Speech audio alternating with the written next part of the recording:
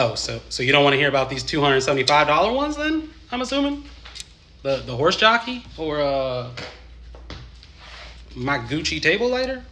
What about that one? That's not your steez.